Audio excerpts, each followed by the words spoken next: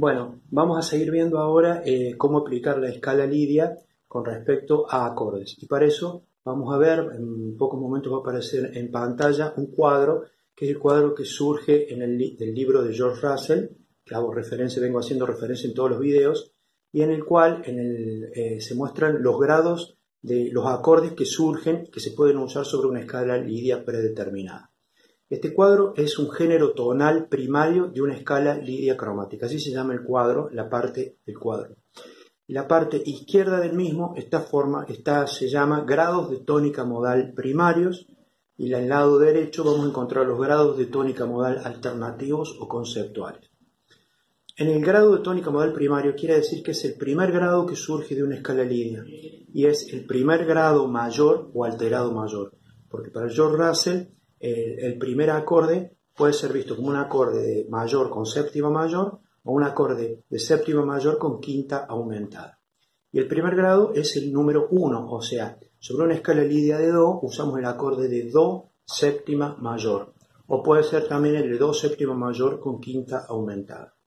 Pero del lado derecho tenemos los grados de tónica modal alternativos o conceptuales, que son grados que podemos usar como alternativas de este, que es el principal.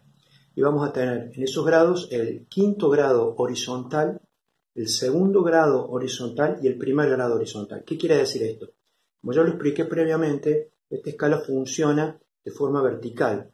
Quiere decir que eh, no hace falta ir a resolver a otro lado. Pero si usamos estos grados alternativos, funcionan de manera horizontal. El autor nos está diciendo eso y funciona en la práctica así.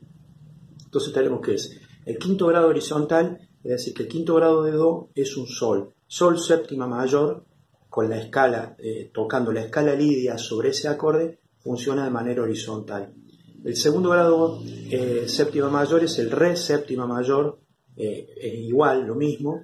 Y el primer grado horizontal es el mismo Do séptima mayor, pero que funciona armónicamente en forma horizontal resolviendo a otro grado. Bueno, vamos a seguir ahondando con esto pero ya estoy brindándoles las primeras, los primeros acordes sobre los cuales usar una escala lidia y sus eh, derivadas que vamos a ver también en otros videos.